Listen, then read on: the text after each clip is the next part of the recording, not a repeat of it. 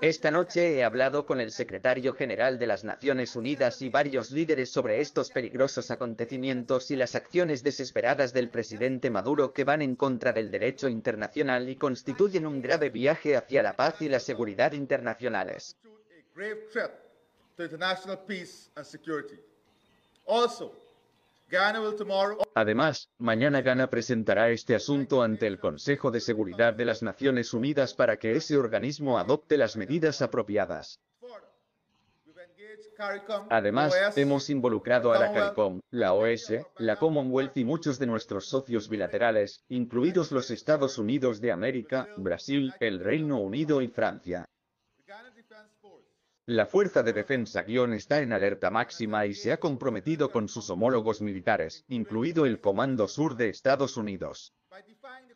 Al desafiar a la Corte, Venezuela ha rechazado el derecho internacional, el Estado de Derecho en general, la justicia y la moralidad fundamentales y la preservación de la paz y la seguridad internacionales. Literalmente se han declarado una nación fuera de la ley. Sin embargo, nada de lo que hagan impedirá que Guyana proceda con un caso ante la CIJ, ni impedirá que la CIJ emita en última instancia su sentencia definitiva sobre el fondo del caso. No permitiremos que nuestro territorio sea violado ni que el desarrollo de nuestro país se vea obstaculizado por esta desesperada amenaza.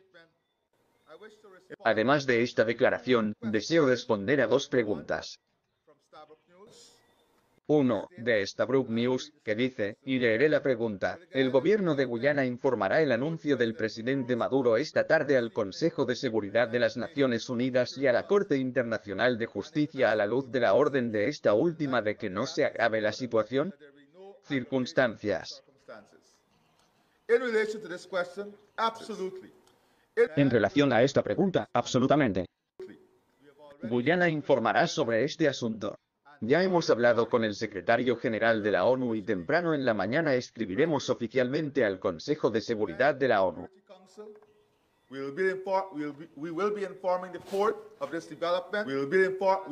Estaremos informando al puerto de este desarrollo.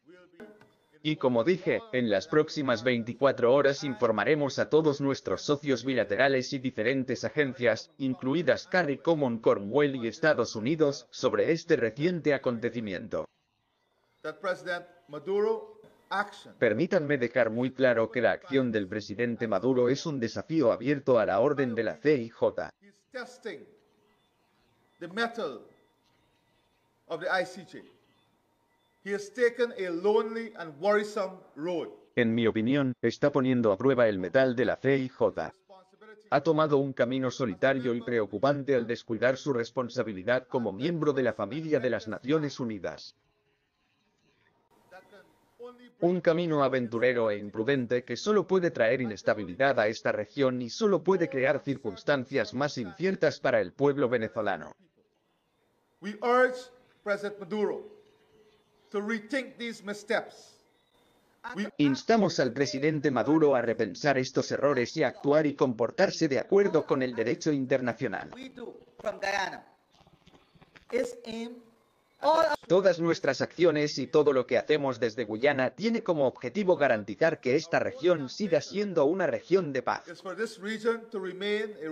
No queremos nada, nuestra única ambición es que esta región siga siendo una región de paz, una zona de paz y que se respete la integridad territorial y la soberanía de Guyana.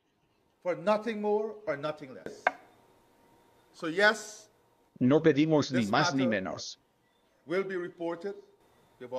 Entonces sí, este asunto será informado. Ya nos hemos comprometido. Y la segunda pregunta es del Guyana? Times. ¿Cuál es el mensaje del gobierno a los inversionistas ante la posición de Venezuela? Nuestro mensaje es muy claro. Su inversión es en un país seguro, democrático y estable en el que prevalezca el Estado de Derecho. in accordance with the rule of law. No tiene nada de qué preocuparse cuando invierte en un país que se gobierna a sí mismo de acuerdo con el Estado de Derecho, que está del lado de la democracia y que comprende lo que es la verdadera libertad. Así que no hay nada que temer. Nuestros socios internacionales y la comunidad internacional están listos para apoyarnos. missteps to be corrected Nos han asegurado su apoyo y lo único que queremos es que estos errores sean corregidos por el presidente Maduro y que Venezuela y el gobierno como Venezuela se comprometan con la paz y actúen como corresponde a un miembro de las Naciones Unidas. Familia. my fellow Guyanese, we are here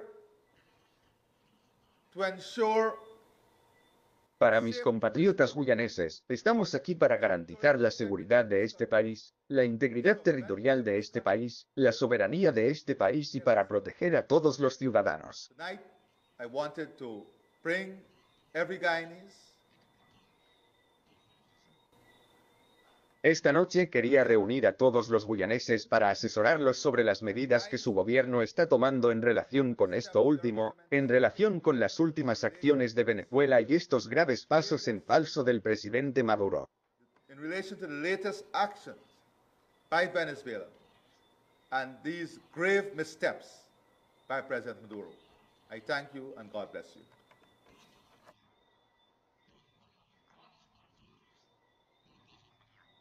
I thank you and God bless you.